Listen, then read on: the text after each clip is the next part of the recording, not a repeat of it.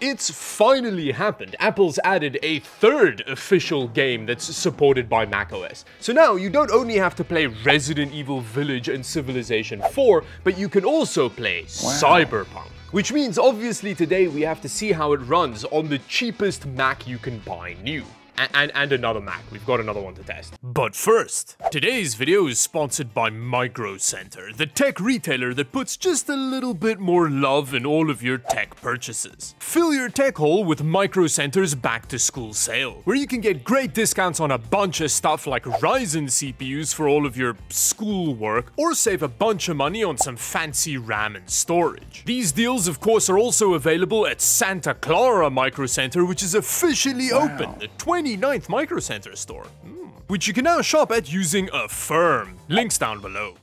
I'm not sure if you can tell, but I am in the midst of recovering from some leprosy. Very fun. I'm real excited about it. So please bear with my octave lower voice, I guess, is at this point. I'm going to be using this base Mac Mini, which I bought refurbished for about 680 Canadian dollars, but you can buy them new for 800 Canadian dollars. And for that, you get an M4 bit of Apple Silicon, which is actually a very impressive chip. It's super efficient, and it handles stuff on the desktop and, and music software pretty well, uh, but I'm curious to see how it handles a demanding game like Cyberpunk, especially considering that the base version comes with just 10 GPU cores. The base model also gets you 16 gigs of Apple's unified memory, which it does need to share between the GPU and the CPU, so that's like total system memory. And you also get 256 gigs of storage, which actually became a bit of a problem pretty soon after I bought Cyberpunk, but we'll get into that in a second. Now, when it comes to buying Cyberpunk on macOS, I was very annoyed because it cost about 110 Canadian dollars, which isn't great, considering that I've paid about $110 for Cyberpunk about six times at this point. I recently had to buy it for the Switch, which sucks. 105 Canadian dollars, very nice. Although it is the Ultimate Edition, so I guess that it comes with the expansion, but still, it's like a 20 year old game. It's also 150 gig, which on a Mac makes it like $200 worth of storage. That's crazy. But apparently the game was even bigger than that. What do you mean there isn't enough space? It's 150 gigs and well, there's definitely more than that available. Okay, now it has to work. We've got minus 26 gigs used. Which finally was good enough to appease the cyberpunk gods. Okay, it's working. It's downloading. It's very greedy, and it's taken up the entire SSD on this thing. So, yeah, that's the first big issue we had. But with that, let me, let me hook this little Mac Mini up and see how it runs. But look at that, we've got natively working Cyberpunk. This is exciting because this is a really good benchmark game to use to compare macOS to like other stuff as well. So I'm, I'm unironically glad that they added it. Now, one of the th one of the difficulties we have with macOS is getting proper overlays. You can't use something like MSI Afterburner, which just tells you what the whole system's doing.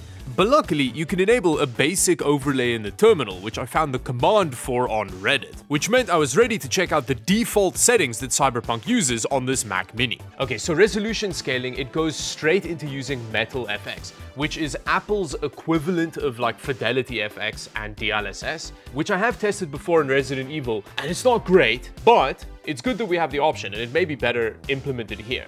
It's, it's all high settings. It is very brave about what kind of performance we should be expecting here. And I decided to be even more brave and turned off Metal FX for my initial testing. Ooh. It's not going great, is it? This is 1080p. Uh, it is at all high settings, but this is what it defaulted to. This is like the for Mac settings. Uh, but I, it doesn't seem to take into account the fact that we're using the cheapest Mac. But the first thing I need to do here is I just have to turn the motion blur off. I mean, it honestly, even for 28 frames per second, it feels pretty heavy. Now, what is interesting about it though, is that the frame time graph you can see is pretty stable. So the frame rate it kind of feels like playing on an old console, which isn't the worst thing ever if it wasn't for the latency. It feels so heavy. So this is future Dawid. uh, I've figured out based on the color coding of stuff. I don't think that is a frame time graph. So I'm going to try and crudely cut out all the bits where I talk about the frame time graph. I think that has to do with like render pipeline and stuff. I am not smart enough to understand that. So I'm just not going to comment on it. If you know better, look at it, interpret the data, and then have a discussion about it in the comments down below. And with that, I decided to turn metal upscaling back on so that we had the base settings that Apple think is the most appropriate for this setup. So it actually gives us a range between 50 and 80% resolution scaling, which like 80% isn't too aggressive, but 50% is is. That's not helped our frame rate a huge amount. We've gone up from 27 to 32. I'm guessing it's using about 80% here. But the frame rate makes sense considering that the upscaler has a target frame per second of 30. That's how it thinks we want to play this game. And it feels just as heavy, and the motion blur is back. Oh, it doesn't feel better, does it? I will say, the upscaling looks very good. Uh, it's, it's difficult to tell through all of the motion blur, so let me let me turn that off. The upscaling looks good. It, it, it's not it's not disgusting at all. I think it's very much leaning towards the 80% scale as opposed to the 50. We don't want the target FPS to be 30. Let's let's see if we can hit 60.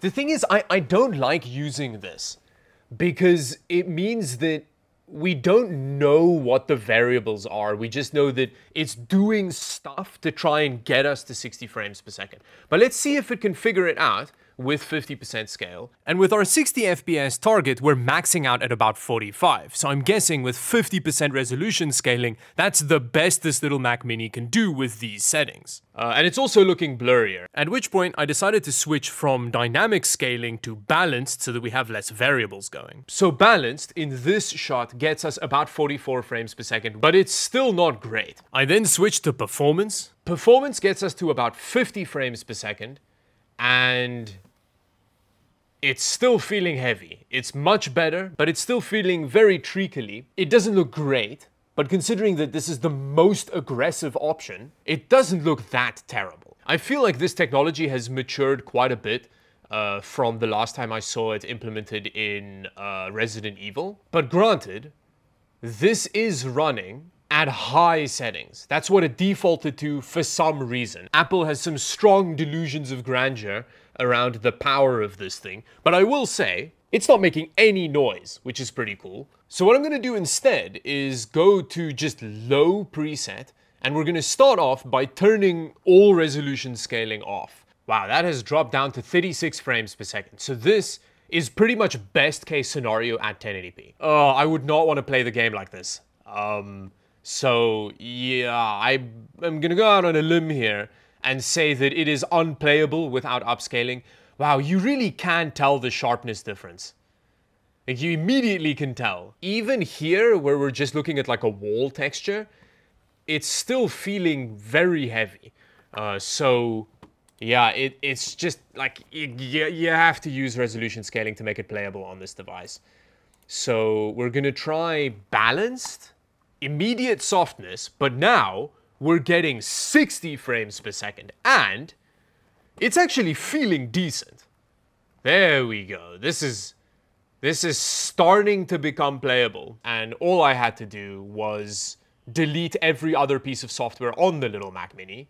Um, it's quite stuttery, like, there's some crazy stuff going on in that graph that I don't understand. I then spent a while playing at these settings, and the game doesn't feel great. Like, it might be running at about 60 frames per second, but it feels much heavier input lag-wise than that 60 frames per second would imply. And because I had to use some pretty aggressive upscaling, there was a lot of weird visual artifacts going on, especially when it comes to light and smoke things like that looked pretty terrible. So this is by no means a good gaming experience, which is fair enough, it is wildly outside of the comfort zone of this little Mac Mini, but what happens when we try something more powerful, a MacBook Pro? So now we have a 2023 MacBook Pro. I think this has an M2 Pro Apple Silicon in it. So we do get a little bit more GPU cores, but they are an older generation. I'm curious to see how this holds up. The settings are lower, for some reason, than it was on the, the Mac Mini. That was all set to high. This is all like a mixture of medium and high. uh, but still with dynamic resolution scanning. So let's have a quick look to see how this performs. Oh wow, would you look at that? It's now jumped to about 48 frames per second. That is a big jump and there is a notable difference in terms of input latency. In fact, it feels similar to how it felt with the Mac Mini once we just set everything to low with uh, the Metal FX. At which point I switched to the low preset and turned Metal FX off we're getting about 46 frames per second, which is a notable jump up in performance over the Mac Mini. Yeah, I mean, big surprise there. If you spend more, you get more power, even if it is an older device. Having said that, it is still not super playable.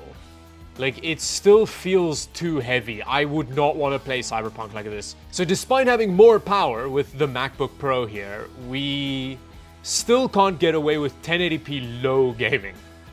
Wow.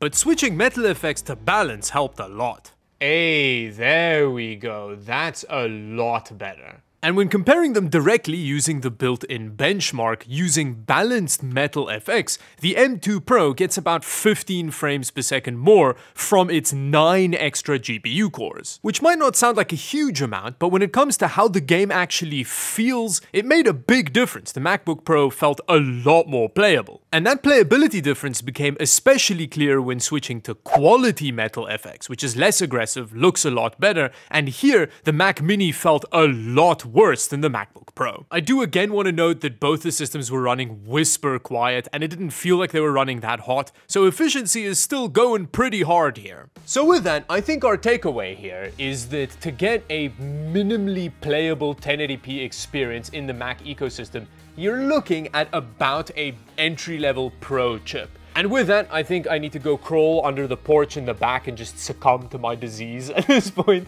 Uh, so thank you very much for watching. It's the end of the video. Subscribe to the channel if you enjoyed this video and want to see more like this. And uh, yeah, until the next video, thank you for watching. Bye-bye.